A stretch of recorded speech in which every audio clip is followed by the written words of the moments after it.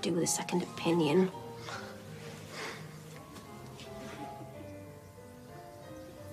Hello? Come in. Oh, you look lovely. Your fiance's here. Oh, thank you. Uh, hi, you. Just give me five minutes to get out of this dress. Best offer I've had all day.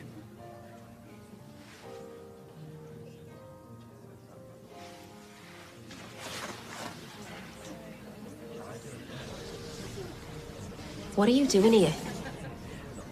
You look absolutely beautiful.